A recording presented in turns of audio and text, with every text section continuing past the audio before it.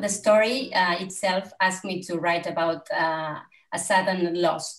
Mm, I didn't want to write about my personal history stories, or it has nothing to do with me. It's not my family. It's not my has not, nothing to do. But I, I needed to um, understand what was uh, I'm living myself. I was reading a lot of literature about death and, and loss and grief, but I, I found that it was really um, grandiloquent. I don't know how to say that word. Mm-hmm. Yes.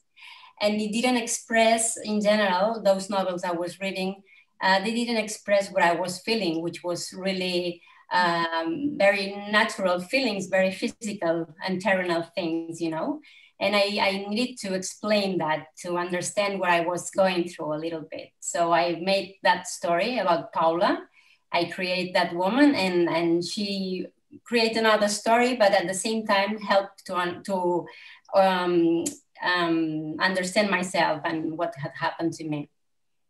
Mm. Can can we uh, throw out? We've got some questions, I think, Isabel already. Have we? Yes. Uh, by now we have just one question.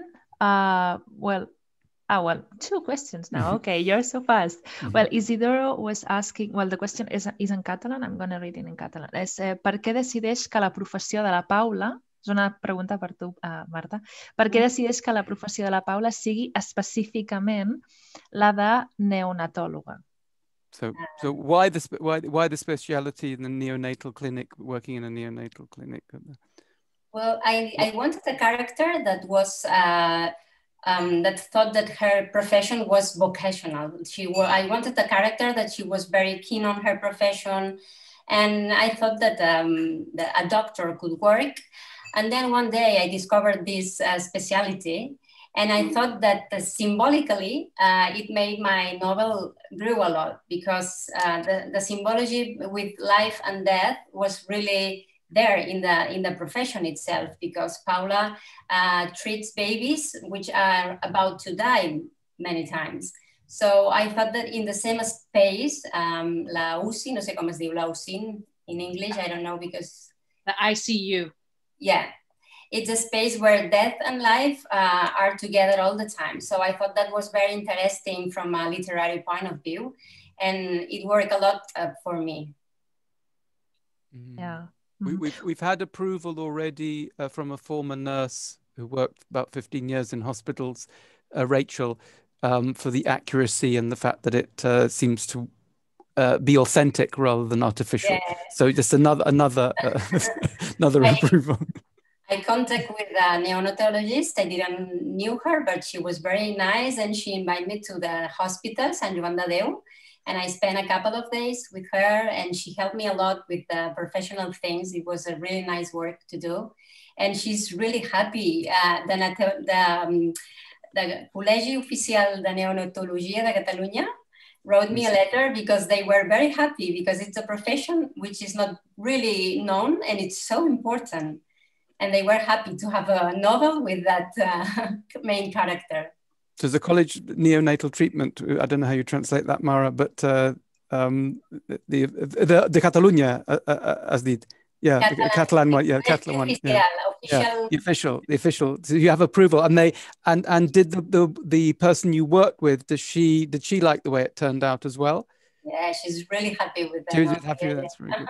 because she said that it was incredible because, because there are details that she didn't explain me, but, but she told me a lot of anecdotes of uh, the life in the hospital. And then I made up stories uh, that are in the novel, but she didn't tell that stories. And she said that she has lived that and she knows she hasn't tell, she, oh, I'm sorry, she hasn't told me that stories, but in a way, uh, her experiences are there. So she was very happy. Yeah. Mm-hmm. mm-hmm. Actually, Rachel, next question was uh, posed by you. If you want to, sorry, uh, there's one before Isabel from from Dalia. Yeah, well, the first one, yeah, it was if uh, any APL collaborators, if the book is adapted into a film or a series. so there will be uh, a film or not? Uh, not by now. I would be really happy. There are some things that my agent is uh, talking with and dealing with, but not nothing is uh, already uh, tancat, finished. Yeah. I don't know. yeah. Okay. okay. anybody you'd want to collaborate with? Any actor or any or ah, any oh, that would be uh, when i was uh, working with the, the publishers about with the cover they asked me if i had some some woman in mind.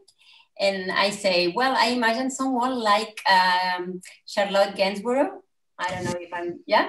But it's just an image of a slim woman and that uh, special face with a lot of uh, things going on on her mind but just for an inspiration. Yeah. Mm. Good. Good. Okay, yeah. Now, Rachel, if you want to unmute yourself and, and ask your question. Um, yes, uh, thank you very much for you, for your uh, book, Marta. And, and and I am I was the nurse. I'm the nurse. and oh. worked in intensive care myself. So uh, I've read books where it it's not very convincing, but it really was. So it was it was lovely to read. My question was really about the title. So um, I, I have to confess I haven't finished yet, um, but I'm wondering what's happening about the plants because there's been little hints for me, but but it hasn't come to fruition yet. So uh, it was really about the title. Yeah, the title is absolutely symbolic as well. But I think that Paula goes through different learnings through this period. And one of the things she has to learn is to go to the light and to the life and uh, stick herself. I don't know how to say this. Stick, uh, agafarse fort. Um, is it stick to life? I don't know. Cling, cling. Cling to life. Yeah, stick to life. Yeah. Cling to life. Yeah. That's what um, what plants do. Go to the light, and you know, and as Mauro had some plants in the terrace, and Paula uh, has to take care in a way of the plants. I thought it was a nice title my publisher didn't like it at first because he said people will get confused and will think that this is a gardening book or something. And but finally we find it uh, it was okay and, and, people like it. Yeah. Mm-hmm. but it's also symbolic. I think she she makes this learning. She learns how to stay with other people how to open herself to to the others. A little bit like plants do go to the light and open them. Mm-hmm. Mm-hmm. Good. Well, next question was uh, posed by uh, Nina, and it is. It says, uh, "How do you think the story would change if it were a man in Paula's place?" Mm-hmm. It's interesting. mm. well, I uh, I don't think uh, it would change a lot in this case because I think uh, this um, grieving, it's really similar for a man or for a woman. I don't think and and what happens to Paula in the novel um, that everyone that she thinks that she has these relationships with these men uh, because she wants to try herself that she's still young and she she can do that I think that would be possible in a man's uh, if the character was a man too. I don't think it would change a lot. I don't know. Maybe because Paula uh, is very close is a close woman. Um, she doesn't show her feelings a lot. We, I think women in general tend to show more their feelings rather than men. But Paula is really different. So maybe it's that's why I don't think it would change a lot if the main character was a man. So she's quite a masculine woman. Maybe, yeah. She's very independent and she doesn't need a lot from the others. Yeah. Interesting. Okay. Very interesting. I know there are more questions, but let me ask something because somehow I think it's related. I was thinking because you, Marta, I mean, as the author, you decided that um, it was Mauro who confessed, like, well, he breaks the relation and confessed an affair before dying, right? So then we have a novel with like two main feelings, which are this grief and also like anger, ¿no? Como la rabia o that she, Paula feels betrayed somehow.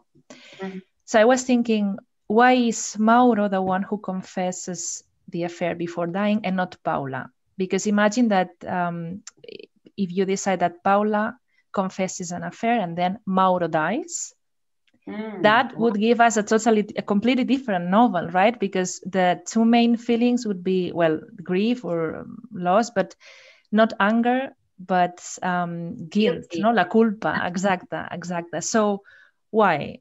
Uh, si sempre ho havies tingut claríssim, no? Que volies fer-ho així o no? Or why sure why did you not? yeah why, why did you yeah. decide to that it's it has to be Mauro who yeah. confesses and then dies? because um, maybe because my personal story was so close uh, in time i mean i needed something really different and i thought uh, I, I need to get angry with the one that passes away. Otherwise it was really sad for me to write that novel. If she wasn't angry with somebody for me it was too hard because it was sad writing about that. And then i also i thought that literally um, as, a, as a novel uh, if something, I had to add something to the argument, to the plot, to make it more uh, moving. Otherwise, just one, if Mauro dies and nothing happens, and all the novel is about grieving and surviving, I thought it was really um, for the reader, you know. Heavy. So I thought I will look for another thing that makes uh, Paula's mind like a cocktail, you know, it was full of anger and full of mixed emotions and full of sadness. And I thought she had, she had to get angry with Mauro. But I, I remember I, I chose, choose that uh, because I needed her to be angry because I needed to separate from my, my story. And I, I was sad with my, what happened to me. So I needed something more to, to, to get this distance. I needed to write the book. Okay, okay, great. Thank you. Okay, next question was posed by uh, Tabitha. And uh, well, it's a bit long. uh, she said, Well, hi, I wanted to ask why Paula doesn't deeply contemplate contemplate the mechanism the mechanics of Mauro's affair. Of course, she meets Carla and gets some explanation and she goes through Mauro's phone, but yet she doesn't speculate on times where he was missing or any suspicions that she may have had. Uh, it seems that Mauro and Carla's relationship was going on a while as they were engaged and all of this, you know. Um, so is the affair supposed to be a total shock to Paula? No, I, it's a good question because I think uh, that as a reader, you realize that uh, Paula already uh, knew something. She imagined something, but she hid it behind her work, which is her passion. And in a way, you understand as you read the novel that she's a woman that uh, the, um, the, the more familiar standard life um, is not really important for her. She's happy being independent, being alone. But she um, she found Mauro and she fell in love, and they were good together for a for a time, for some years.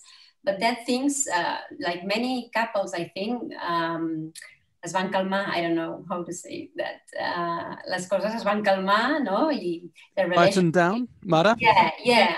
And the passion died down, no? Passion down, yeah. You put passion in, there wasn't passion in what you said, but you said the passion's died they passioned down and, and he already understood that the relation wasn't working really well. He wanted to get married. He wanted children. She didn't she wasn't interested in that. So it was okay for her to she was kind of um coward. How do you say that? Coward? No. Yeah coward, coward, yeah. coward. Yeah. she was like she, paula at the beginning of the novel is someone a little bit coward because she she she knows all these things and she she doesn't want to confront with the truth, you know. Uh, so in a ways, that's why she didn't uh, go deeper in what, what she was a little bit smelling about her relationship. Okay, great, thank you, uh, Charlotte. Uh, do you want to unmute yourself and ask your question? Yeah, sure. Um, hola, Marta. Hola. Uh, puc um, dir coses en anglès o català, és igual, més igual? Com et vagi millor. D'acord. Uh, um, jo també sóc novel·lista i um, voldria preguntar-te um, si una mica el teu if you could explain a little bit your creative process, please. Yes, um, I'm a very chaotic person when writing. You know that there are writers which are called like architects because they know from the very beginning until the end every scene, every everything, every detail but I always tend, when always I only have three novels, three books. So in these three books I have written, I have always start with a character. That I, I, enjoy, I really enjoy creating characters. And uh, it's, I don't know, I start with an emotion. In this case, I was, I, I had this need I, I said before, I about writing about grief. And I, what I made is start with creating Paula, I wanted someone very independent, and I make a woman I made a woman really different from me. And then she, the character, tells me a little bit about the story. When I know more the character, I know the what things can I make to her to take her to her um, personality out. You know obviously i know a little bit what i want the novel to be about that the main uh, the, the argument you know but i didn't i never know the, the end. I don't know where i'm going. So i start writing and then it's this very strange connection that the, the brain makes uh, you see something in the street and you say oh, i want that for my book. You hear something or you're reading a, another stuff. So it's all mixed in my mind and it gets like that. that sometimes i listen to a song and that is fantastic for my novel and it takes something from that song, a feeling. So it's really, I don't, I'm, I'm not architect at all when writing. and Charlotte was also asking if you have like a routine that like you work uh, and you write every day or you wait until you feel like more inspired somehow. No, I have to work every day because I quit my job about two years and a half ago to write. So I take it as my job now. I make a lot of collaborations, but uh, when I'm with a new novel, uh, I'm a very applied person, I recognize. So I, I have this need of I take the kids to the school and then I come back home and I start writing. I have to write all until I go to pick them to the school again.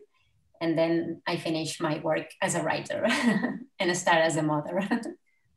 Right, great. Well, next question is for Mara. But Cecilia, do you want to ask your question yourself?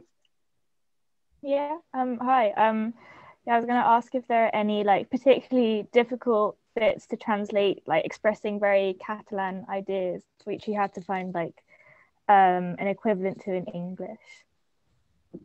Um. Well, it, there there was one point where I kind of added in an explanation because um, it, the copy editor was like, this isn't in the original, but it, when she um, first meets Pep in the airport and she hears him speaking Catalan on the phone, and it's sort of a, an immediate bond, which for me is a very Catalan experience. Like if I'm in New York and I hear someone speaking Catalan, I get excited, like, oh, they're speaking Catalan, you know, which doesn't happen with Spanish, for example. Um, it's sort of it, because of the history of Catalan, it's uh, it sort of creates a special bond between Catalan speakers. So I wanted to bring that idea out a little more and flesh it out in English because I to to make it more explicit. Um, and I forgot exactly how I did that, but I don't know. Do you remember that moment? When they meet they're in they're in an airport in, in amsterdam i believe it is. Yes. Um, and so i i kind of i don't i don't know if i could find it but do you do you remember what i'm talking about cecilia? Yeah. i haven't read it yet but i will look out for it when i read it, yeah, um, it, so that that was it, otherwise i mean it's not a, a particularly Catalan, not you know, there's not a lot mm-hmm. of you know, they're not like drinking from a porró or something. in, in Jo confesso, that he uses that to show that someone's like becoming an alcoholic. They start drinking from the porró mm-hmm. instead of pouring it into a glass.